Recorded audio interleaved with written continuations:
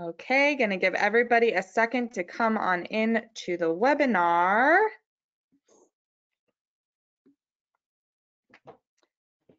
Okay, everybody. So hello, we are here with Jane Rohde with JSR Associates.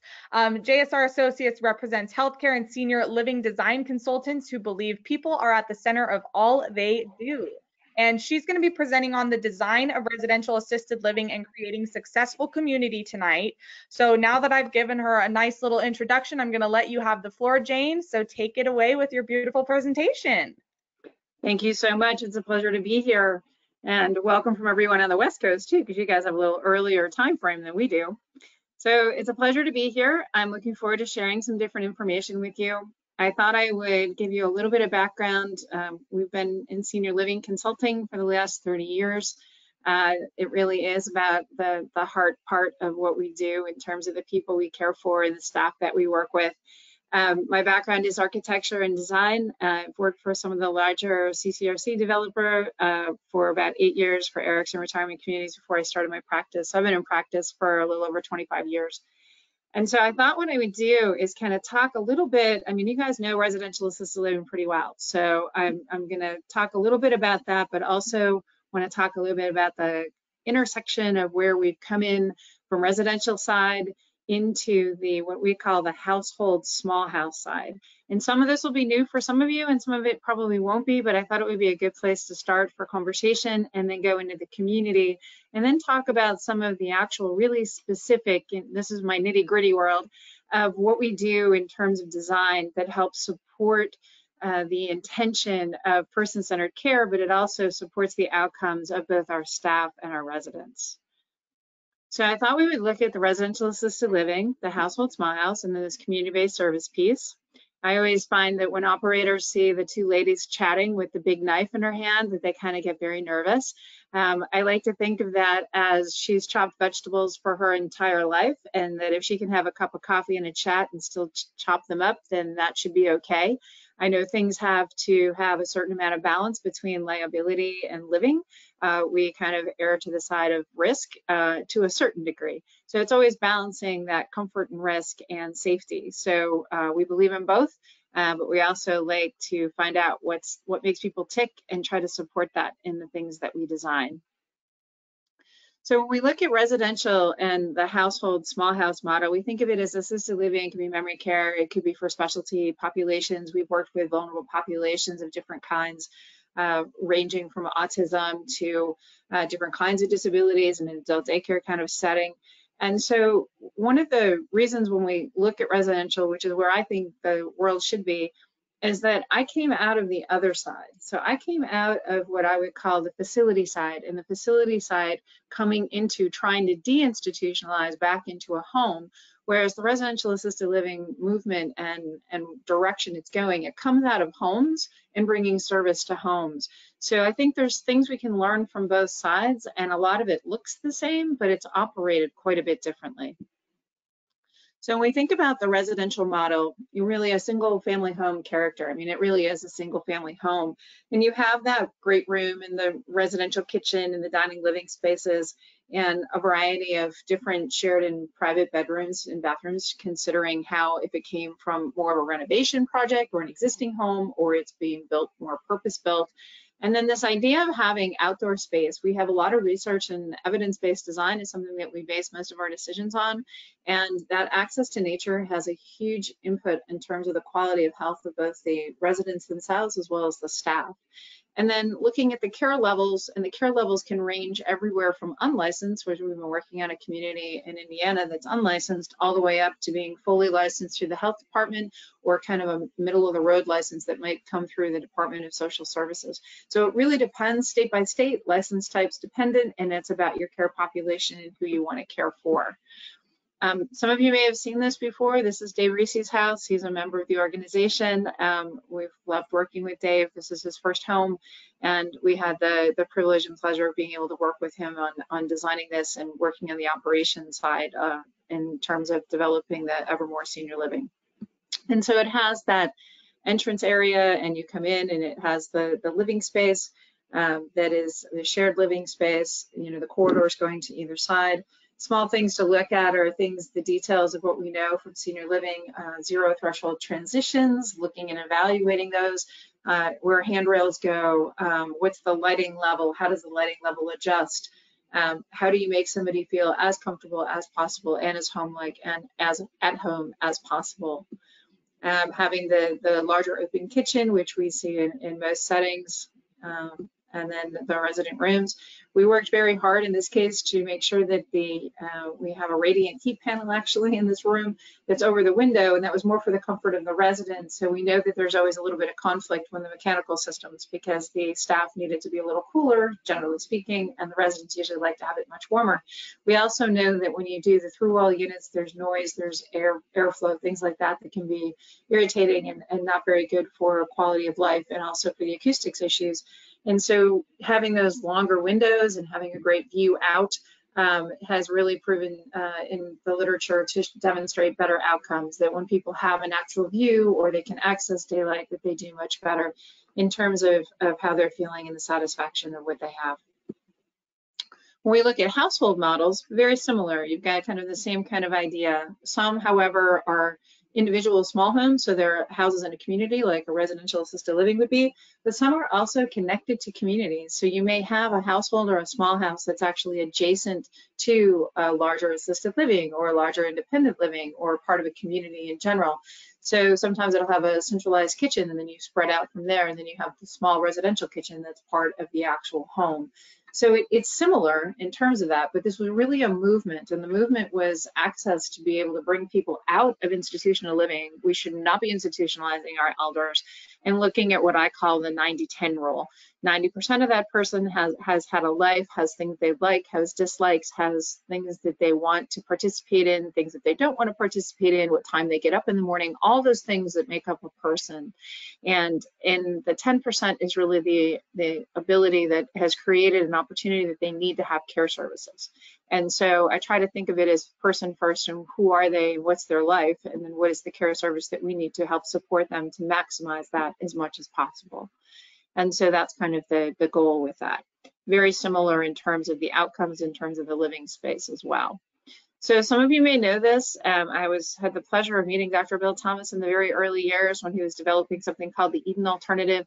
And it was just simply an idea that institutionalized double-loaded corridors did not have to be the way that we provided care for our residents and that people weren't meant to live in that environment. It was really modeled after the acute care um, model in terms of a hospital.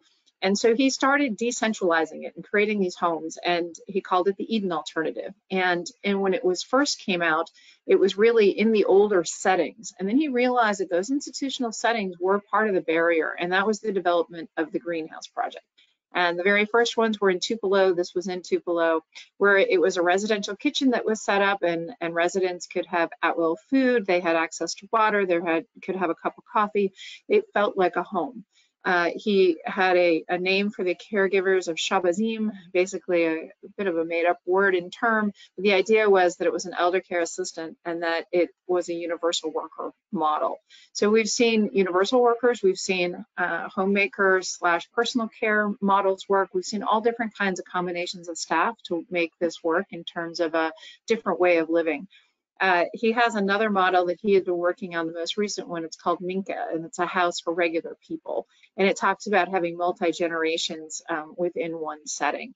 Um, so this gives you kind of a little bit of a set of the background. Uh, we did the first Eden Alternative set of households. We did them as duplexes actually in Tennessee, in Pleasant Hill, Tennessee, in a little teeny town in the middle of uh, the middle of the state of Tennessee.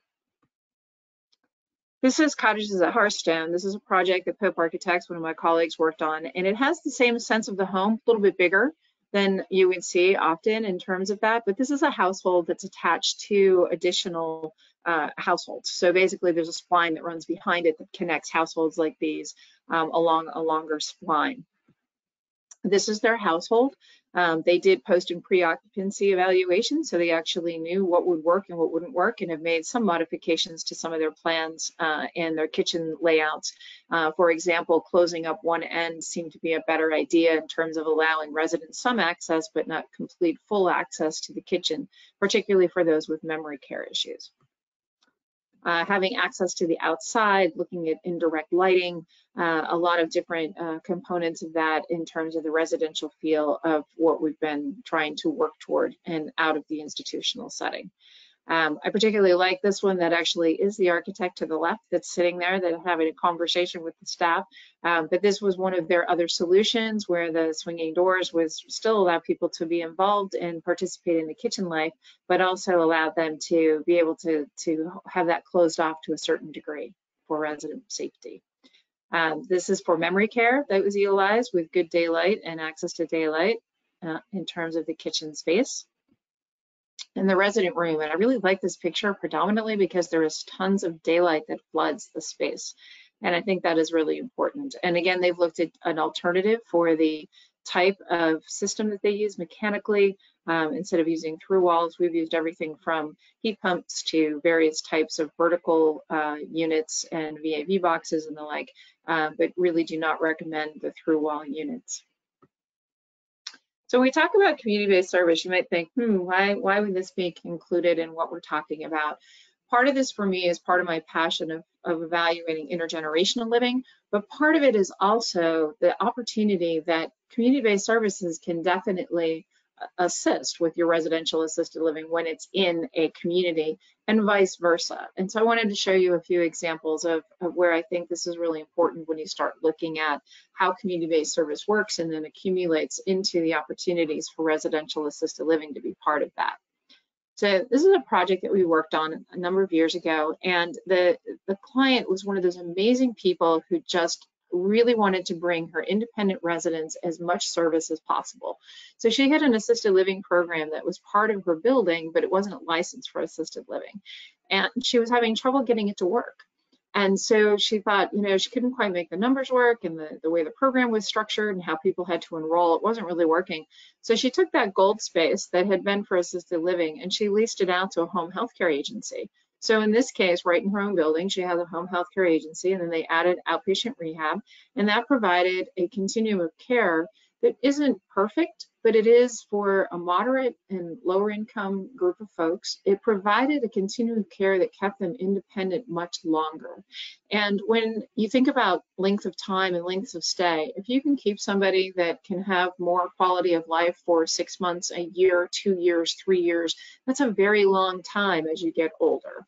And so that that's something that stuck with me, this idea of what happens if you add service. So the other thing she did is she partnered with the local senior center, which is something that a residential assisted living, if you had two or three homes, could also do. And that senior center was able to, uh, they didn't have food resource. They needed a kitchen. She had a full kitchen downstairs because she had to have that for the assisted living program. And so she agreed to allow them to cook all their meals there in exchange for a meal a day for every one of her residents. So there was a way to do that on a community-based platform and a, and a different approach to be able to provide service to a much more extended population. So when you think about this, I think that that has ramifications that we could look at that in, in different ways and add that in potentially. Uh, I have another colleague, she's uh, has a senior center and it opened two weeks before COVID. So you can imagine, brand new building, was in North Carolina, it opened up and she's ready to go and everything changed. So she goes, oh, the design of it would have been completely different if I'd realized we were going to be, you know, all this virtual work was going to be happening and things like that. But what she didn't realize is that by doing the senior center uh, programming and starting to do these programs with uh, at home and on Zoom, she used Wake Forest students to basically canvas her seniors and her elders to help them learn how to use the, the system. So she got the systems all set up in various folks' homes and so that they could do virtual. And then when they did do some back on live, they could come in live. But what she wasn't anticipating is that not only the local community was using it, but people from around the state were using it. So if we think about this from a virtual perspective and you're thinking about how do I introduce activities and how do I get more activities and how can I broaden that, you actually could broaden that by having um, a part-time activities director or a part-time activities person and have this supplemented by doing virtual programming that could be set up with your local senior center or your local university or your local community college. So again, it gave us another resource that I don't know that any of us would have completely realized. Um, she was also able to help other assisted living settings that were closed down during COVID that didn't have access to activities. So I, I think that there's something to be learned from those lessons and that we can um, maybe maximize some of that or even apply that to some of the residential assisted living work. The other thing that I found that I thought was very interesting, we did our post-occupancy evaluation in this building. We had provide, we had this wonderful little woman. She was in our one of our focus groups. We always do focus groups at the beginning of our programming. And we asked her, um, she said, what I would really like is to be able to personalize my space. And I said, well, well, well what do you mean? You know, what, what would that work with? And, and she goes, well, I would really like to pick a color and and pick some of the finish colors of what could happen in my in my own apartment so I could personalize that. So we gave them some different palettes to be able to do that and, and have some selection and some control over what they wanted. And I asked her, she was dressed in head to toe, she was dressed in lilac. And I said, so what would your color be? And she's like, oh, well, lilac, my dear, of course. So she was just darling and lovely. And come to find out, that was one of the top two things that in the accessible bathrooms that we were able to provide in very small footprints. Um, we were able to provide those two things, that those were the top two, even though all the community space had been renovated as well. That was really the top two things that the residents felt that they were cared about and, and really felt satisfied with that had happened. Uh, this is another project up in uh, Garden Spot Village, which is uh, up in New Holland in Pennsylvania. Um, the colleague who works here, uh, he runs it, uh, Steve Lindsey. He's been a good friend and colleague for many years. And uh, we work together on guidelines and other things as well. And so they have other alternatives. So they have things called Sycamore Springs. It's like their small cottage plan. So this would be your, your typical two bedroom home. Then they took the two bedroom home idea and started thinking about what would it look like if it was a cooperative home. So this is just, again, a bigger home, but instead of it being for assisted living, it's actually for unrelated independent living residents. So this gives a more affordable option for those who may want to live together in a more communal setting, but it also is on a sliding scale. So one of the residents, for example, she could have easily afforded to move into a larger continuing care retirement community side on the other side of the campus, and she could have moved in with that with the uh, with the uh, substantial down payment. But there was another woman who was going to lose her place in her apartment because it went up $100 a month, and that was outside of her budget and her means. So this gave people a chance to be able to live in in a similar setting, in both of those those women, in that, that case they're both women, chose to want to live in the in the cooperative house.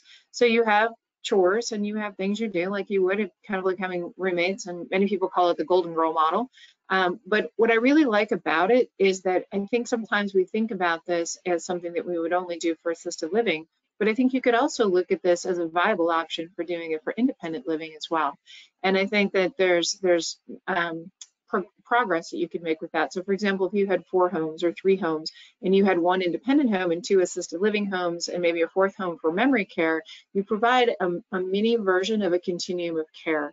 And I think that that has, has possibility and potential as well as allowing people to age in place. People would prefer to stay where they are. We all know that. Um, and embedded in the neighborhood seems to be something that's much more preferable versus being in a what would be viewed as a facility or a facility base. Um, this has five bedrooms in it, so it's five un unrelated adult residents, independent living that live here. Um, and so it's just a big home. So you come in, it has a shared kitchen and the dining living room, a hallway that goes back, and the five bedrooms that wrap around. Uh, everyone does have access to a, a bathroom, a full bathroom in this case. So something else we've been working on is, is I started a nonprofit a couple years ago. It finally got all put in place during COVID. And we basically started it on the idea that intergenerational living and person-centered care is is gives us the best quality of of environments for living. And and we started calling it living instead of more like senior living because in a sense it's it's intergenerational. We want it to be more like a multi-family that actually has accessible spaces but it also has access to care and community and amenities and it also has access to higher levels of care in different ways and so I thought this would be an interesting thing to show you because I think it has some relevancy in terms of how do we define residential assisted living. So I kind of tried to push the, the definition a little bit with the license folks. So what we look at here is having a triad of nursing, social work, and OTPT as part of the staffing model. And what we found is that that gives us very good coverage and a very interdisciplinary team. And it also provides a, an opportunity for all three of those disciplines to work together. And we think that we get better outcomes when that's the case. And then that also allows us to cross train. So one of the other things we think is an issue, and we all have this, I think, on our minds, is the idea of how we're going to staff because we don't have enough folks um, coming in and we haven't um, been able to do good retention and what does all that look like. So we started thinking about that from a training perspective, looking at housing, uh, that's more affordable for the actual staff to live in, um, or that's adjacent or that's nearby. We've also been looking at childcare because one of the providers that we work with out of Michigan said that's my biggest problem is that they don't have childcare that's accessible in, in nearby. So we've been talking about what are some of these other community partnerships that help us support our industry so that they support our homes and our residents in, in sequence. And so we've looked at intergenerational living and it could be elders, families, students, youth. Um, and I've worked a lot with the vulnerable population of underserved youth. And I think we're missing an opportunity with our youth because I think similar to elders and facilities, we've had a tendency of, of, almost incarcerating youth in terms of how we've institutionalized them. So trying to evaluate and maximize that because I think we're losing a generation of, of kids that could really actually be quite successful in the aging and healthcare fields. So looking at maximizing services and economics, local needs, reimbursements, community issues, all of that, and looking at a, a continuum of healthy lives for all ages uh, has been part of our, our mission with this. So we look at things, we're kind of the anti-developer in, in, a sense because we look at things from a grassroots based. And so we've been looking in Cumberland, Maryland, we've been working on a project in Detroit, Michigan. We've been working on some things already in Meridian, Mississippi. All three have completely different needs are they related? Yeah, absolutely related to some of the same things we see. Transportation, um, access to service, where's my extended care coming from, not being institutionalized, being more person-centered. So we figured out there was definitely a handful of components, but every community didn't necessarily need the same components. So they may need more affordable housing or student housing to supplement their staff, um, in another case, they may um, need some access to more amenities because they already have a lot of senior living in terms of apartment housing, but they don't have any activity spaces and, and anything that's coordinated in terms of access to care and services and amenities. So it's been a very interesting journey um, in terms of looking at this. We figured out a lot of, that won't work, but we've also figured out quite a bit that can work. And so some of those are things like a virtual village, which is the Village to Village Network. Um, that's where they, um, I think the Beacon Hill Village was the first one out of Boston. And they created an opportunity that you, if you pay in as a membership fee, it's a very small fee, but then you pay for the service. But you have somebody who coordinates anything from transportation to getting an expertise that you need in terms of a, a health issue. Um, it could be um, needing care for temporary, for a small period of time because you've had a knee replacement. It could be almost anything. And so depending on how the, the village village network is set up. Some people also do it on a chit system where I, I provide transportation for you today and hopefully you'll provide transportation for someone else down the road. So there's different ways of looking at it. We also figured out that we did a small research study with actually some STEM uh, students um, out of a high school and we asked them, what are the things that would bring residents and older people and youth and potentially at-risk youth or underserved youth, what would bring them together? And there weren't any real big surprises, but it did confirm a lot. We had two groups do it and the two groups came up back with the same suggestions that cafe or some type of dining, it's food, it's about food, bringing food to the you know, to the neighborhood, to the community. And so we found that in many cases, in terms of revitalization in different projects, that uh, food is the source. Uh, so it could be a local cafe or similar to the Mathers cafes that they have in Chicago, um, having that opportunity to have a cafe, but it doesn't have the stigma of, oh, old people use this. So it was built for the community. And so when we look at it from a community-based perspective, I think this could be applicable also to a group of homes. Uh, physical activity was the other piece in terms of having some type of recreation that you did that was somewhat coordinated, but also it could have some natural spontaneity to it in terms of neighboring and learning and, and understanding both older older needs and younger people's needs. And then technology was the third, which was no surprise there. But this opportunity to have access, internet, reverse mentoring opportunities, I can think of a whole host of folks, including myself, that would really benefit from uh, you know, a 12-year-old's expertise in technology. So training, engagement, and activity, so both virtual, in-person, and scheduled, and then supporting that activity. So some of it has space requirements that go along with that, but then a lot of times there may be other spaces that are already could be shared through the community that are there um, and can be reactivated or additionally activated. Um, Leland Kaiser was one of my, he's a futurist, he's passed now, but he was one of my very early mentors in terms of just finding him to be amazing. And he would say, any church that's only used on Sundays is an underutilized asset. So I always remembered that because of how he approached things in terms of maximizing the use of what you could use in the community. So outdoor access, like dedicated space, uh, community at large, we do know that people do a lot better when they have access to the outdoors. Other things that we thought are, are important, the idea of doing intergenerational living is really doing a multi-family building.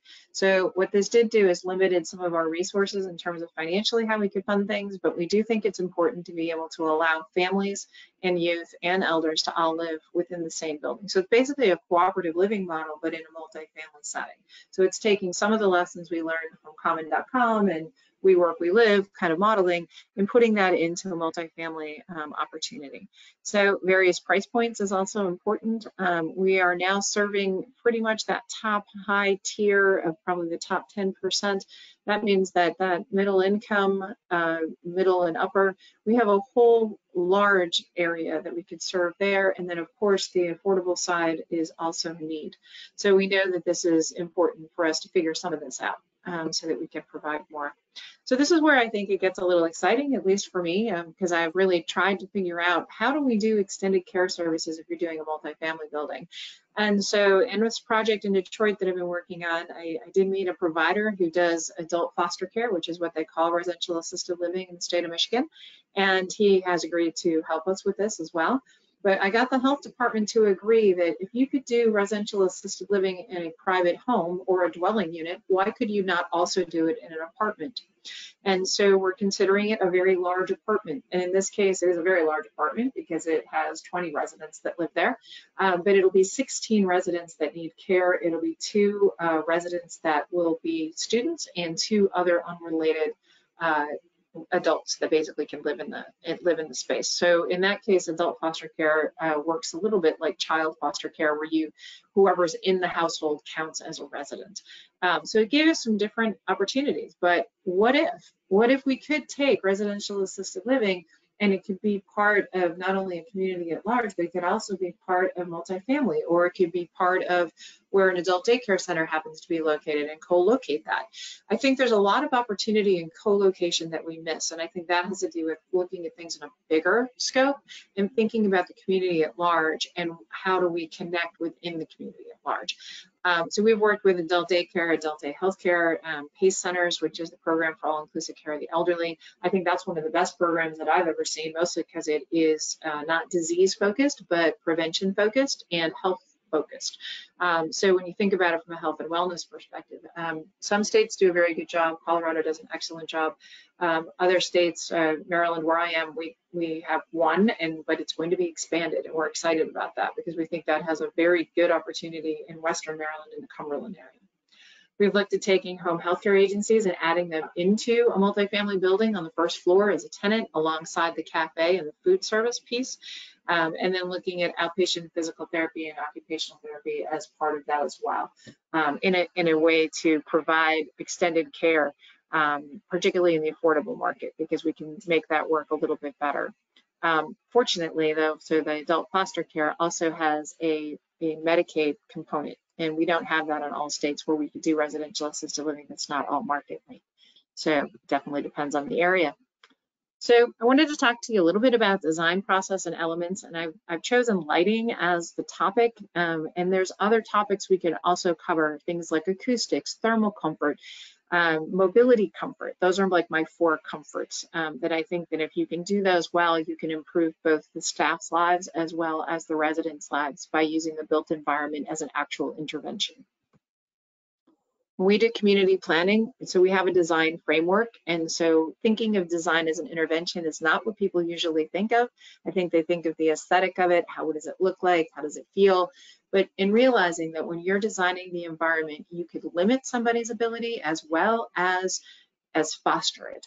So whether it's mobility and having handrails placed in the right location, if it's a grab bar that's not too high, it's just rightly placed for that person to be able to get up and down off of the commode by themselves, all those different things that we can look at as a positive intervention to allow people to be more independent or as independent as their condition allows uh, is really the goal. So we start with the premise of providing person-centered care. We look at human interaction, it's the basis for design. So identify, what does that mean? Human interaction, that's basically identify where interactions occur or where you would like them to occur. So if it's in the outdoor space, for example, staff is usually not comfortable if they can't see out and keep connection, even if you have a fenced area that is your garden space or a wandering garden.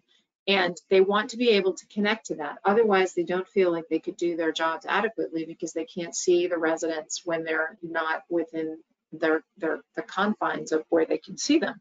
So we've had beautiful gardens set up in different uh, communities that I've worked in over the years, and I couldn't figure out why no one was using them. It was because it wasn't near some place where staff had the sight lines. And so something as simple as that can actually provide human interaction in a draw. Um, and and provide that. So so whether that's a gardening opportunity or it's birds or butterflies or whatever it happens to be, but there's always an opportunity there for human interaction as well. And then we use the lens of service living. And what do I mean by that? So when you look at every different operational function that has to happen in your home, looking at it and thinking through it from the beginning to think about what does that mean to staff? What does that mean to residents? That means everything from the front door drop off sequence for both services and people and family. How is that going to be done? and and just think through that you know where's the coat going to be hung? Is there going to be a wheelchair involved? Is there a transport wheelchair that's going to be needed? Is there clean are we doing all our, our linen in in-house? Is there going to be clean and soiled? How are we going to divide up clean and soiled? These are things that we learned from the facility side that have application to the residential assisted living side because those are just as important and it was exacerbated by what we saw during covid we also know that smaller environments, based on the research that the Green House Project completed, that that research was doing and demonstrated for sure that smaller environments did much better in the pandemic, both from spread as well as illness, as well as deaths. So I think that there's really something to be said for the smaller models on all on all sides of this. So in looking at all those operational functions, you can actually understand better that, oh, this is where my food delivery is coming in. So I really don't want my trash to be going out that same door, or I don't want soiled linen coming through there or through my kitchen or out my front door. So how do I evaluate that? And how do I establish where those, those, uh, those services are going to occur? And then how do I make sure that those are going to be done in the time that they need to be done? And we do the same thing for staff. So if you have a small staff room or a small area for respite and breaks, but you also may have a, a a toilet room that's just for staff. Staff prefer that. So we've found that through the research. So it's things like that that you start to take into consideration. When you're building purpose built, it's obviously much easier, but those same processes have to happen even if you're doing something that's a renovated, a renovated home. And when you think about looking at uh, completing person-centered care, this is the other thing that we've, I've worked in China on a, on a building for about eight years. And in that, um, we realized very quickly that we wanted to be person-centered from an assessment perspective. So a lot of times while asking administrators, so who do you have living with you? And they're like, oh, we have, you know, four people with dementia, three people with diabetes. I go, no, no, no, that's not my question. My question is, what do they like? What time do they like to get up? What's their favorite food? What's their favorite color? And the administrator looked and said, oh my goodness, you're asking a different question that I should definitely know the answers to, and I don't. So that comes around to this idea of doing a person-centered assessment that looks at all the activities that they like, gives, gives them a background and a platform. And the other thing that that really helps is folks with memory care issues, because then if the family can tell you what their interests were and what their background is, it really helps with trying to do engagement with them we do something called scenario training where um, I was grandma, grandma Jane, and we had grand, grandpa Mark with my client and some other people, and they all knew what our profiles were and they were to practice to that profile. And so on my profile, I had written that I was allergic to soy. And I just, cause I had to put something down on my, on my list. And so I was there visiting. I hadn't been there for about three months, and I came to visit. And one of the nurses aides comes running over, and she's like, "No soya, no soya." She really thought I was allergic to it, and she knew my profile so well that she knew to make sure that that did not occur. So the fact that somebody knew that that well, that's really person-centered. I mean, that's really understanding your residents and understanding what their needs are. So we talk about design details. So this is improving access versus creating barriers. So we're going to talk about lighting. This will be a little bit, um, I would call this a little design geek techie, um, but I think that this just kind of gives you an idea of how the design environment and very various components, and this being one, um, can really positively impact the outcomes of both staff and residents. And so when you think about lighting, it's the lighting level, it's getting rid of glare. Shiny is not clean, by the way. Usually shiny means it's dirty. So glare avoidance is very important. We know how how hard it is for all of us to, to deal with glare. So then you add glasses and other conditions and aging conditions that can add to that, creates it very difficult and creates fall risk in many cases. Um, circadian lighting, which is that uh, the natural lighting of from morning to night and adding that in. Um, Dave Racy did that in Evermore. Um, we've done that in a, uh, a setting up in Buffalo and it's the first one in Western New York that was done, and their outcomes that are coming out of this have been tremendous. People are engaged, they're sleeping better, their agitation has gone down. It's everything that we thought, and, and so pleased to see that those are actually the results that we're seeing. Tunable LEDs is a manner in which we can do circadian lighting because up until we had the development of technology of LEDs, we could not easily change the color temperature of the lighting. Now that is a very simple and actually quite inexpensive thing to do. Access to nature, views, and also the outdoors also helps with the resetting of circadian systems, also helps with vitamin D development and other things that are, are um, part of the, the natural systems that someone would from a day-to-day -day go to. I have been in nursing homes where residents have not been outside in literally 15 years. I cannot imagine. Um, the other piece we want to talk a little bit about is value contrast. So what value contrast is, is that if you have one wall that is white and you have a handrail that is dark gray or blue, that gives you the value contrast between the surface you're trying to see and hold on to for support and the wall behind it. This works for many different settings, everything from your toilet walls to the toilet seat to uh, different things, and we'll show you some examples of that. And then the last one being light reflectance values. So light reflectance values, if you've ever done a paint job and you've gone in and gotten your paint samples from the paint store, on the back of it, you'll see a number that says LRV. LRV stands for light reflectance values. That is a range of zero to 100 and zero being black and, and white being 100. In that range, you will find that certain things need to be a certain number of points apart in order for them to be seen well. So that back to the same example of the white wall and the dark gray or the blue handrail, that you're seeing that and that wants to be between 30 and 50 point difference so that somebody can visually see that. What does that do? Why is that important? Reduces fall risk. It, re, it provides people not to hesitate when they're moving. That's one of the areas where people actually fall. It's the hesitation when people don't know what's on the floor or think it's a hole or water because of contrast. It will stop them and pause, and in the pause is often where the fall occurs. So creating different kinds of lights. We have task light that's for specific tasks. We have accent light that's to give you focal points, but also to kind of give you the ambiance of the space. And then we have ambient lighting, which is your general even overall lighting. So where the ambient lighting is really important is on the floor level, so that at the floor level, you don't see contrast and change. One of the best uh, technical manuals for this is called RP2820, um, is the newest publication of this, but it talks about when you need a higher level of task lighting versus what you might need for ambient lighting. And we'll show you a couple examples of those. So this is, is a good example. Those shadows that you see on those stairs, you can see how someone could easily fall on that staircase on the bottom. And so understanding that there's even light from above and also contrast on your riser and tread.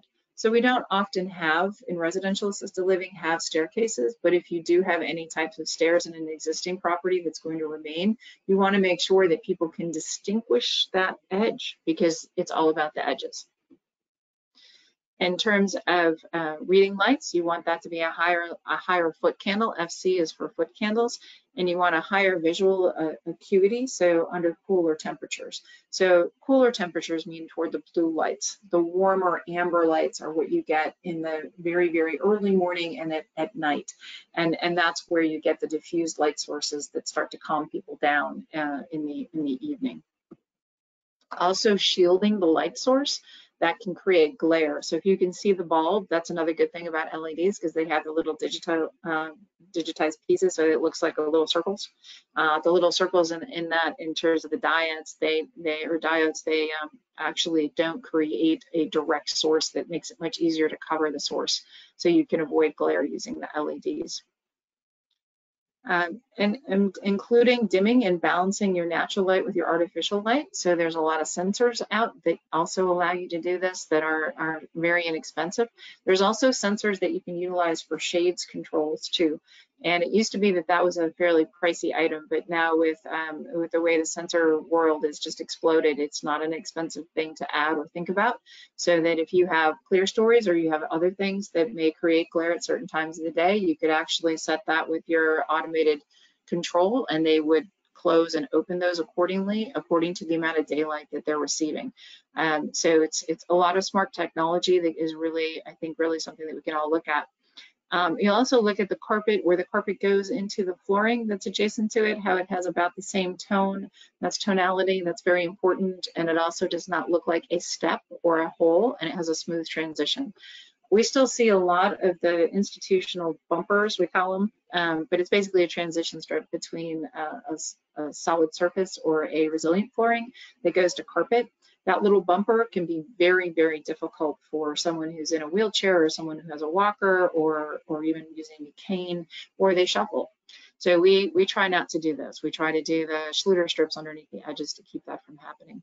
Um, it's also good to know that in even the hair salon and, and spa, lighting to makes you feel good. We've all been in those in, in the salon chairs where they have a like the light is too harsh and it's fluorescent and it's cold it doesn't make you look very good, makes your skin look a little sallow. So basically the idea is that look at the lighting that makes you look good too. So it, it, it gives you a good representation of skin tone and things like that. Um, we also think that there's areas where preparations are taking place. So obviously under counter lighting, so that the lighting that you would do underneath your cabinets that would shine on the counters is very important for prep.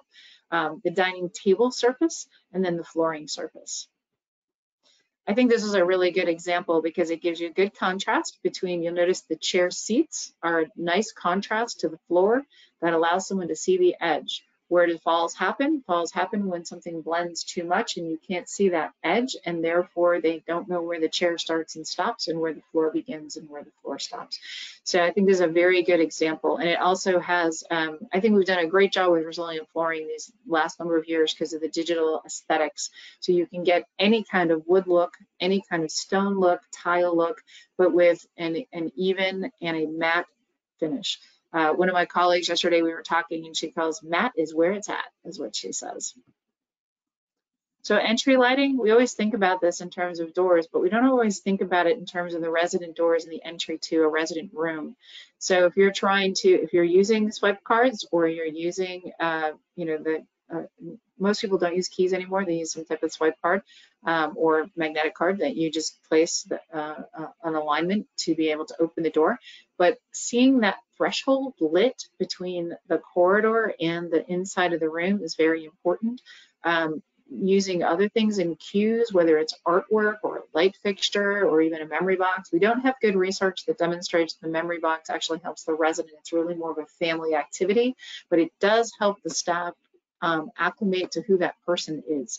And I think that that is very important too. So you can use lighting as a wayfinding means and visual cues in adjacent or with um, things like your artwork and, and that type of thing. And you can see the handrail has that nice contrast to the, to the wall and that the wall itself has a contrast to the floor. It's one of my favorite room designs because it actually allows everyone to go outside. This is actually a hospice, uh, a hospice room. Um, but you want to include uh, night lighting as well as part of the, the bedroom lighting. So thinking about where and what the pathway is from the bed to the bathroom. The other thing is circulation spaces, and we'll talk a little bit about space requirements around things like beds and movements and chairs. So this is one of my favorite bathroom examples. So they backlit in amber the tile. Why is this important? So amber is a, is the light level that you can use at night that doesn't disrupt somebody so much or wake them up so much that they can't go back to sleep. And so there's a lot of nice things about this bathroom. It has the barn door as a swing. It has a roll-in shower with the back drain, which I always recommend because it allows the water to sheet off more quickly toward the back of the shower. It has grab bars within the shower. We usually we would also have a vertical on the opposite end. They have one on the end closest to the uh, to the sink, um, but we would also put one on the other end. Um, when you change surface, you want that to be as smooth as possible. Um, but this idea of having the amber light and lighting the path from the bed to the to the bathroom, and you can even preset dimmers on that if you want to. But I thought this was a very clever way of getting the amber light and into the bathroom in a very gentle way. I also like the natural light component that's in the shower because it does add some additional natural light into the space and allows for the, the space not to feel as dark as a lot of times bathrooms are, are inboard um, to a space, so they don't have windows in them. So circadian lighting starts from that amber, like we were talking about, from the sunrise or sunset all the way to the high noon. And basically, when you have a, a light color that's in the blue tones, that's going to be when you're up and running, right? And that's when you want to keep people up and running. The problem is, is when you have that light level all the time throughout your entire space, all day and all night, that's when residents don't sleep as well. So this idea of changing the temperature of the light throughout the community or throughout the spaces. And what we found is one of our uh, manufacturers that we work with, he said that he had an instance where someone had had been uh, gone into the living space. They were in the living room and, and it started to get a little drowsy and it was, you know, the temp timber of the light was going down toward the amber. And then they went out in the hallway, but the hallway was still blue light. So by the time they got back to their nice resident room that was back down to the amber light, it had reset them again and woke them back up. So it has to be consistent. So whatever the pathway is throughout the home, it wants to stay consistent. It also can help with night staff. So you want them to be alert, but nonetheless, if they can have something that's more toward the softer tones, that will help um, in terms of their own circadian lighting because night night workers um, really do have a lot of potential for uh, negative health outcomes and things based on the fact that they are do night shift work. Um, so this gives you an idea what tunable LEDs is in, in the warmer light. So the right is the warmer color, the the middle is the is the kind of middle of the road color and then the blue light. So it just gives you an idea of the, the, the timbre and the light differences. Um, this is a more institutional healthcare type of setting, but I thought it was a good example of how the tunables worked. Something else that we call is light layering. So light layering is basically still having a fairly even light on the floor, but also having some activity light and then some other light that's up above it that's used for accents. Um, this is also a good example of layered acoustics because it has carpet as well as resilient. And then it, from there, it has another layer that has a uh, acoustic tile. Um, acoustic tile is usually not used in residential homes, but we do have products now that look like drywall, but they are acoustic in nature. They're starting to come down in cost and price. We do think that that's something to be valid to look at because the acoustics within a space can be very loud. The other thing we've looked at is doing recesses. So you may do over your fireplace and things like in Dave's setting, we had done a recess and then in that recess you could look at doing an acoustic treatment and it might be a wood type of timbre that you use that's that has uh, acoustic padding behind it or acoustic uh, perforations that allow it to be more acoustic but blending it and thinking about those things in the very beginning of the design process is definitely recommended. So access to views, daylight, and outdoor spaces.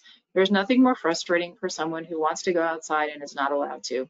So in the, the spaces up in Buffalo in an assisted living household that I just reviewed a couple months ago, I finally got to see it because we had worked on it a couple years ago um, and they finally are open now. Um, we were able to see that people are in courtyards and they have full access all the time. So they're, this, the sight lines are there for the staff. It gives people free access to move about. It does not make anyone feel like they're prevented from doing something. Um, so it reduces frustration and it allows for additional movement and things like that throughout. So I think that that's something very valid to look at. Um, we do have tons of research too about the just in terms of the views themselves, uh, the view of a brick wall versus the view of nature. The view of nature is you know less medications, better sleep patterns, all those things, um, and those are transferable research uh, reports that were predominantly done in the healthcare setting versus long-term care, but definitely have transference over into um, our side of the industry. Um, so the other thing is this I really like is the daylight. The access to daylight here has really been thought through. The fact that it has two windows in the in the room I think is very relevant. And, and having that deeper, longer window I think is really important too. This is something that is at the end of a corridor. And the reason I show this is because a lot of times if you don't have the window at the end of the corridor or daylight at the end of the corridor, it can, I, it has, well, it has a bad feng shui, but besides that, it also has that feeling of, of not, a, a little bit trapped and not open and not sunny. Um, and so that is really a good wayfinding cue Two is to actually have daylight at the end of the corridor. So we recommend that in terms of evaluation as well. Um, this is our garden space in the back of our building that we worked on in China. And um, we got these some of these pictures that we had. We thought that was like a real little lamb or whatever, but they aren't. They're little statues that they would place and take photos. Um, but they kind of have a life of their own. So they show up in all different kinds of spaces. Um, but this has a wander path. It doesn't ever make someone feel like they're um, trapped or they can't move forward or they can't move out. We have three different layers that were designed in to allow people to have complete freedom of movement and they'd actually have to go through three kind of security type areas to be able to get out of the garden. Um, but it has the wander path, it has uh, the lawn piece, it has a labyrinth, that comes out of the physical therapy area. It has a garden that can be closed down to a smaller garden if you have a more vulnerable population. And then each uh, household on the upper floors has its own garden. You can see where the vines on the railings are just starting to grow up on the railings. So light and contrast, why is this important? Light and contrast, we perceive things by edges. And this was done in a University of Pennsylvania study that showed us this. And this idea of the examples of changing the light reflectance value between the floor and the wall allows the older eye to see the edges. It actually allows all of us because our brains work that way. Uh, but the flooring in this example is tonal and it doesn't provide a high pattern contrast. So when people say, no, you can't use any patterns, it's gotta be solids, that's actually not true. You can use a pattern, you just have to be very careful in the tonality of it and meaning that it doesn't have uh, high contrast because high contrast can can be perceived as being different dimensions. It can be perceived as something that falls away as well. This is a really good example of a transition strip. This was a sample that we did in our office because we wanted to put it in and test it. It has rubber underlayment under both. Um, the rubber underlayment is thinner under the carpet and thicker under the LVT uh, the luxury vinyl tile. And we did that very purposely because we wanted them to meet and not have any kind of other type of top, top loaded or top shown uh, expansion joint or and or cover that would create a tripping hazard or something that would be difficult. And even if it meets the ADA, it doesn't necessarily mean that it's it's okay for elders. That was the ADA was not designed for accessibility of elders. It was designed for accessibility of returning veterans um, with upper body strength for the most part and mostly male. So there's a it's a different uh, a different tool that doesn't necessarily work always. So this opportunity to provide a smooth transition is very important uh, from one area to another. Um, and then using the appropriate use of, of of contrast and tonality. So in this case, it was all grays and you can see that it's very tonal. And so even though you're changing surface material, there's there's nothing that, that can create a problem at the seam. This chair is not necessarily something we would choose for our communities, but it is a good example of contrast. And I just wanted to show it because it has arm contrast, floor contrast, seat contrast, and back contrast. So mostly, if you can see those arms, that's really important, but you also want a seat to be have contrast to the floor. Um, this was in a hotel. Um, it was actually in, in Nashville and it, it was to replicate music in terms of the vibration of music, but moving patterns can create vertigo for older adults and younger people as well. So you want to avoid those strong high contrast flooring patterns and that hesitation or perceived need to step over something because that can definitely be a, a risk, a, a fall risk. So when we perceive the edges, like we said about the spaces, we perceive everything by the edges. All edges need to be understood, so you want it to intuitively be known what they are. So this is good for all those with low vision. That means it's good for everybody. That gets us into inclusive environments or universal design or, or other things that you can call it. We call it inclusive environments because it goes beyond just the physical design. Seating edges in the floor, grab bars in the in the background color, toilets in the background color, potentially the seat, handrails and quarter walls, base wall and floor, and evaluating those to make sure that those recommendations work. I think this is an excellent example because this gives you the contrast on the wall. You can tell where the seating is. You can tell the seating from the floor.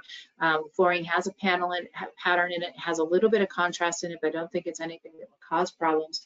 And I think this is a really good example of being able to use pattern and artwork and cueing and lighting all in one one little package. But I think this is a nice example um, for, for utilizing contrast and color.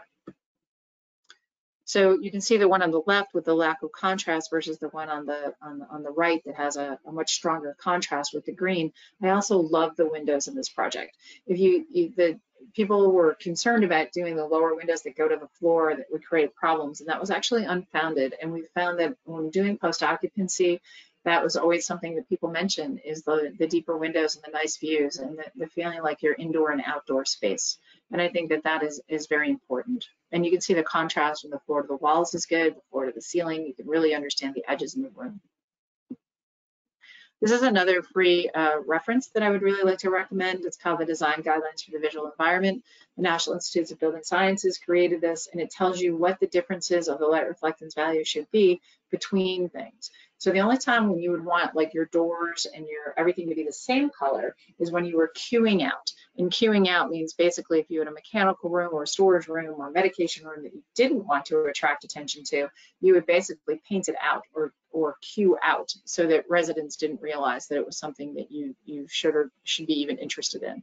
The other thing that we have found is that if you did want to cue somebody out of not wanting to go into a space and creating, say, you don't want someone to go toward an elevator door or down a certain hallway, you can do something on the floor that's darker, but intentionally to keep someone from going there um, not because you you don't want them to be walking, you know, you don't want them to look at that as a hole or anything like that. But if it's something that would prevent them from moving forward in it simply because they wouldn't feel comfortable, that is a way to cue out.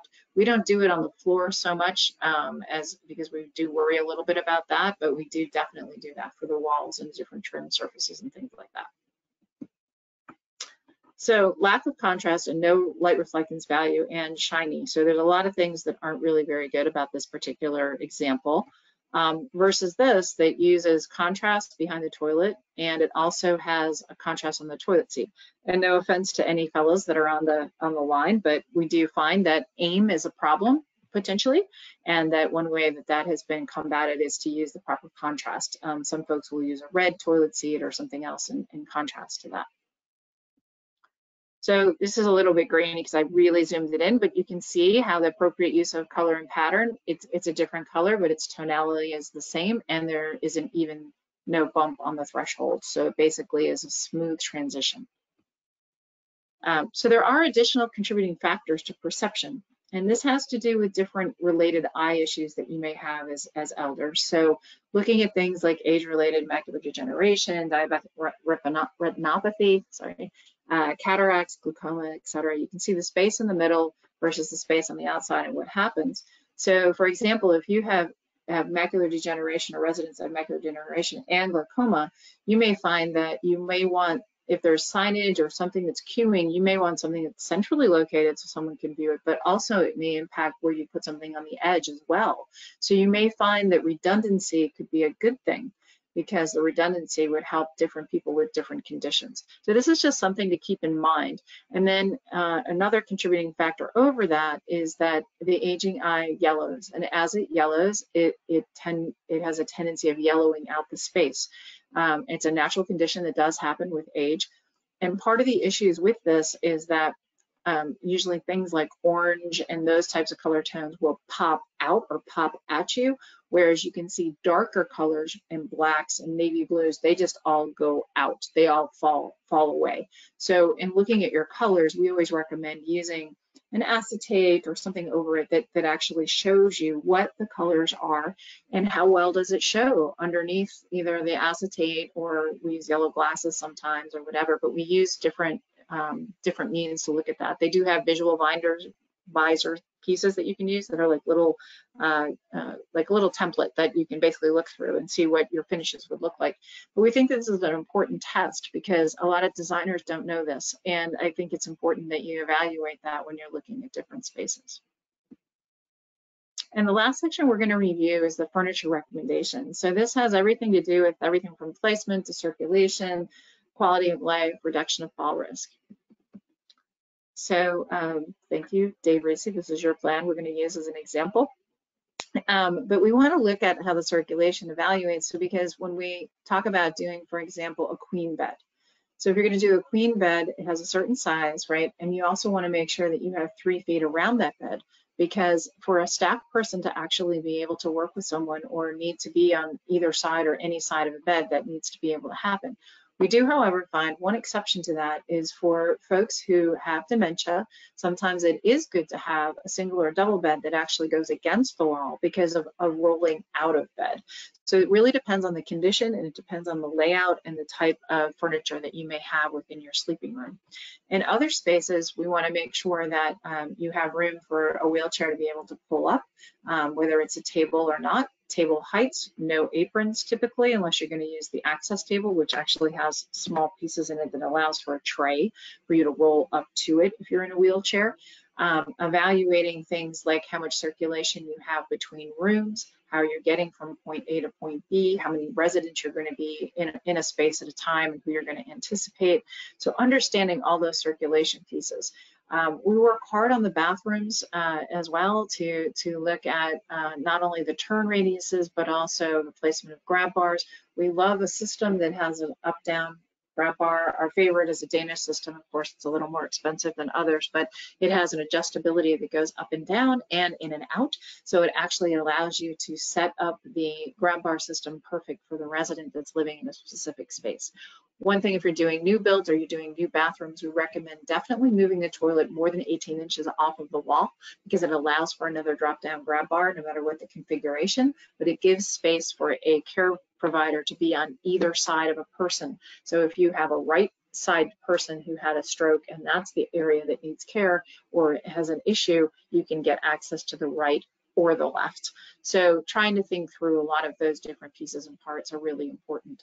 Um, we spend a lot of time in bathroom design. Um, there's there's so many opportunities for it to be right, and there's so many different things that can go wrong. So uh, it's an area that is really looked at quite a bit circulation in this case, you notice there's kind of two doors going in and out of the um, the kitchen. There's the one to the kitchen to the storage area, but there's also one outside the laundry, so that allows for things like uh, soil, soil linens, things like that, or things that need to come out, can come out, trash can come out, that kind of thing. Um, and and then evaluating the garden space, which is out the opposite side of the house. Dimensions do matter. So one time I was, I was in a community and I was literally watching one resident trying to pull another resident out of a chair. So you can imagine where all that could go uh, pretty quickly and, and down quickly uh, was the real concern. So you can, they can increase or diminish the independence of the older adult depending on what it is. You don't want it to be too low, too high, not too deep. I know it sounds a little Goldilocks-ish, but it, it is really true. Arms are important um, we have a tendency of pushing up and out and down is how we get up and down. We want a place for our feet to be able to sit slightly behind us when we go to get up. Um, so it's the type of seating, um, the ideal arm height, the seat height, no, not too deep of a seat, and having that place to place your feet so that you are not up against something so that you can't get your, your momentum. So ergonomically, if you put your feet below your inside your knees and your knees are forward, as you lean forward, you will naturally stand up. Um, if you practice that a few times, which is kind of an awkward movement, but if you practice it a few times, you'll get the idea of what people naturally do, which is where you place your feet, where you place your arms, how do you get up and down, and how do you get up and down of seats um, is very important. Here's a dining chair example. Um, we use a lot of quality furniture because it's indestructible um, and it, it lasts for a very long time. Here's another example always check your your uh, table heights. And if you do have any type of apron whatsoever make sure that your arms will fit underneath the apron because otherwise it'll be destroyed. Um, just from a, a, not just from a safety perspective and a, and a, finger pinching perspective but also you don't want the if you're using wood furniture you don't want that to be marred because then that becomes a reservoir for uh, pathogens or infection.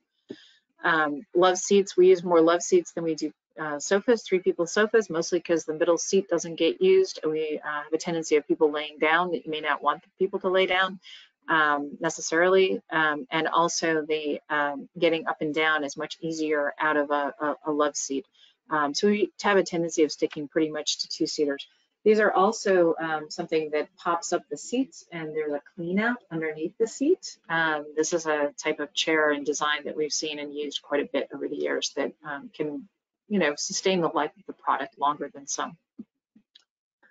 So with that, we have a few resources I'd like to share with you um, the 2022 guidelines. Uh, many of you know Michelle Pinkowski. She's been a good supporter. Um, she had an issue with your assisted living sections, and we've actually for 2022, which is coming out, I'm hoping by the end of this month, our 2022 guidelines will be coming out. This is the 2018 cover. Um, every four years, they're updated, and there is a complete rewrite of the typologies for assisted living um, with Michelle's help and our volunteer committee uh, group uh, as a whole we were able to redo the assisted living sections with input from residential assisted living folks. So thank you for that and thank you to Michelle because it was a, a very good cooperative uh, effort that we worked on. Uh, the other part of this is that in that book, there was also guidelines on how to do uh, safety risk assessment, how to do uh, inclusive envir environments, meaning how you provide access, and also resident quality of life. So when people go to program, I think a lot of times people aren't used to how do I do that, and, and it gives you good guidance in terms of how to do that. There is an evidence-based guide that I highly recommend. It was completed by a colleague of mine in Canada. It's called the Design Guide for Long-Term Care Homes. Um, it has the research directly attached to what some of the outcomes are and some of the planning and the, the layouts that you should be utilizing that supports is supported by research in terms of placement. So it could be toilet placement. Uh, there's a large section on bathrooms. There's some really good case studies on here on households.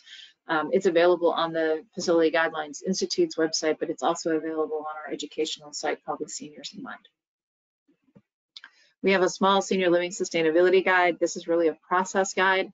Um, it is due for update. It's been due for update for a little bit, but the process part of planning and looking at the desired outcomes for your residents and staff and the operational side are, are still very valuable. So we can go to Q&A and I see that we've got some things flashing and there's some contact information for you if you're interested in more about Live Together or JSR Associates or just want to have a question. And we'll go back to showing the control panel and looking up questions. What do we got here? All right, so I'm going to keep an eye here on the question box. If anybody has a question, go ahead and type it in there now. I'm going to read it off to Jane so we can go through those. Okay, so here's one that's just come in. Can you describe the different services JSR has to offer? Oh, oh sure. Um, yeah, so so we do architecture and design, um, but we also do programming. Um, we also help uh, with care models. So if someone's trying to decide how do I want to staff my residential assisted living, we often will help people with that. And uh, sometimes we look at it from a universal worker perspective because you may have a chef and you may have two or three universal workers, or some people do it with personal care worker and then uh, someone who does environmental services uh, separately. Um, but then they're still part of the team, so we try to cross-reference and cross-train a little bit on person-centered care. Um, so, so we can help with those types of items. Um, we do not do direct placement of staff, um, but we can help train staff with scenario training. Um, we've we've done um, a lot of programming work. So if you're trying to figure out um, the operational side of what you're doing and how you want it to do and all that, um, the licensing code uh, segment, um, we found that some of those relationships in the Facility Guidelines Institute have been very helpful on some of our projects uh, where people will need to uh, understand and have uh, have access to either people in the health department or whatever. Um, and we find that that can be uh, very valuable as well. Um, so that's kind of kind of us in a nutshell. We also do sustainability design, so we have access to things like Fitwel and Well and uh, Green Globes and LEED. We, we are more Green Globes and Fitwel folks, mostly because it's a more affordable systems that they utilize for sustainability and health and wellness evaluation. Fabulous. That was a wonderful answer. So another question that just came in is for memory care and dementia care homes specifically, are there specific colors, lighting, or design tactics that cater towards those residents' needs? Yes, we find that the circadian lighting system particularly is, is most effective. It's effective for everybody, but it's most effective with folks with memory care. Um, and we think that is because the natural systems get off kilter and that does help with those. There aren't any specific colors per se, but I would use the light reflectance value information the same as you would universally for anybody who's who's getting older. And if you do it for them, it'll be good for us too. Um, so the, the other thing we do find though is, is evaluating things like all of your edges. You know, you don't want sharp edges, you want rounded edges. Uh, and and engagement is important. We find that that access to daylight and having access to outdoor space is particularly important with those with memory care and cognitive uh, functional issues. Um, and, and I believe it is just the, the opportunity to move where they want to go. So anything that you can do in your planning processes that allows them the freedom of movement, the better. Um, we do have issues sometimes with rummaging, folks that rummage in other people's things, and, and we've used special types of uh, wardrobes and things like that to try to keep people from rummaging uh, in other people's resident in their things. Um, obviously, closing the door, things like that, are usually usually help as well. But there can be some of some of that, and it really depends on each personality. Um, engagement and the circadian system lighting is what we found to work the best. Anything that you can do to allow for sleep at night um, and sundowners. Um, there is also folks that we have found that have uh, households that are, are almost like a, well, be like a household for nighttime care, if you will, or respite care, um, where they'll do households and the small houses will be built specifically for those who, uh, for for family family caregivers who actually need assistance at night because they're not getting any sleep. Um, and so they bring their loved one and they have a resident room just like you would in our houses, you know, normally. Um, and and they do that almost like in a, a night nighttime adult daycare, if you will um, that allows some respite for caregivers. We have one here in Maryland, and I've visited it. It's it's quite well done. Uh, feels just like a household, except it's used um, more in the evening and at night than it is during the day. Um, so, and and memory care is so individual. I think that we often think that folks with dementia, it, it's like one category, but it really is. If you have one person with dementia, you have one person with dementia because everyone is different um, knowing as much about that person as possible, knowing what moments can they engage or where they would like to engage. Um, I've also noticed that uh, designers and architects who have not worked with the population before are afraid of it. Um, I was too, probably when I was much younger, but I find that they they there's something about mental health and mental health issues and cognitive frailty that that kind of it scares people a little bit. Um, so trying to make it not so scary. Um, it was delightful to see people completely engaged when I was in, in Buffalo in October. Um, it was October, November when I was visiting. It was wonderful to see them all alert during the day. Um, so that taking advantage of that opportunity um, of keeping people as active as possible uh, during the day, I think is is really a big a big part of it um, and and things to do with your hands, finding out what they liked. I mean, is it, you know just folding towels and and doing different household chores? Are those the things that are familiar to them? Um, it could be something different. A lot of places have pets too. They'll have you know a dog that lives in the house, or they'll have a couple cats that live in the house. It's more complicated, I know, but it it does. Uh, if you plan for it, uh, it it can create good positive distractions um, I asked Bill Thomas that. I said, so what do you do when you have someone like my grandmother would not have been happy with cats. She didn't like cats. She didn't trust them. And he goes, oh, we give those residents squirt guns and we let them water down the cats. And I thought I could see my grandmother standing at the corner waiting for the next cat to come around the corner because she would have gotten delight, no more uh, than anything else than squirting the poor cat with the squirt gun. But, um, so those are some some ideas on, on the memory care side. Fabulous. Okay, just a couple more that have come in. Um, Maureen asked, what was the last guideline resource from Canada? Oh, here, I'll go back up and we'll show you that one. Fabulous. The design guide for long-term care homes. Yep. Um, Perfect. Yeah, this is my friend Robert Rublaski. He literally puts all the research that he does, he places it on his construction documents so that if a contractor questions why something is the way it is, it is all right there.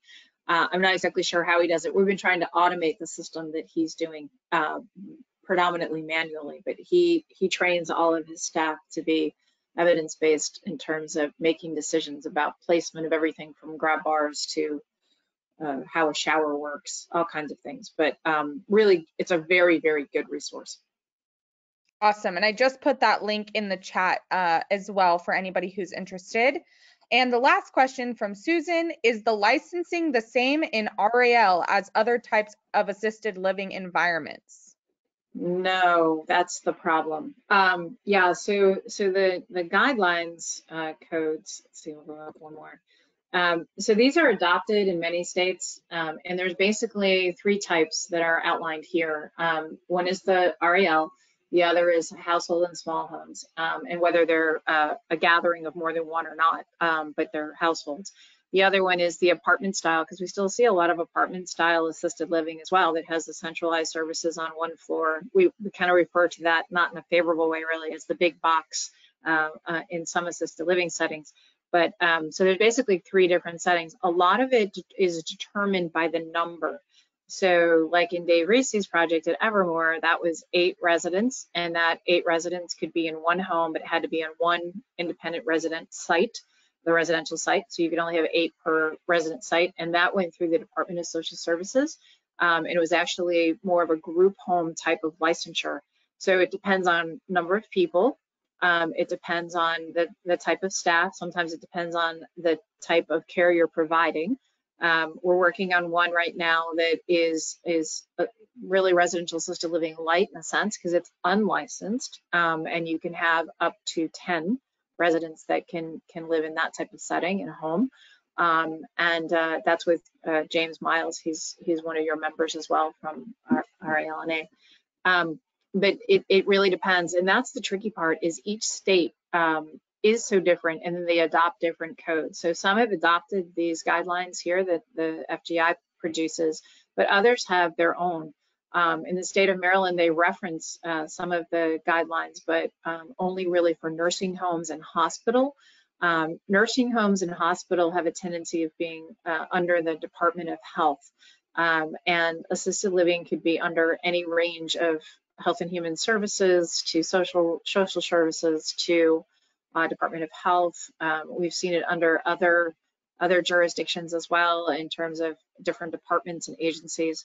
Um, and then sometimes the size of it will also determine who reviews it, like in Indiana.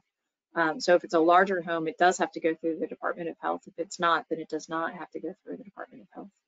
So unfortunately, there's no black and white answer on that one. We've tried to align codes between states forever, both the building code as well as the licensing code. And um, you know, that would be my my my dream of a perfect world is to have those aligned, but that's unfortunately not the case. All right. Well, wonderful Q&A. Um, there are a couple questions that came in in regards to will they get access to these slides? And we will be sending out a recording of this webinar to everybody, which I think is probably the easiest way to do that. Um, so everyone who is on the registration list will get a recording of this. So to close out everything, is there anything else you want to add, Jane, on top of the presentation you've already made? I don't think so, but I really want to thank you for your time and, and attention, and I hope it was helpful for everyone. And uh, I am glad you recorded it. I was going to ask you about that because I, I would like to have the recording as well. Um, and if you have any questions or if I can be of any help, by all means, you know, uh, drop me an email or, or let me know. Um, and uh, I really appreciate your time and, and letting me share with you some of the knowledge that we have. Fabulous. Well, thank you so much for being here. Thank you to everybody who attended, and we'll see you on the next RALNA webinar. Thanks. Bye-bye, everybody. Have a good day.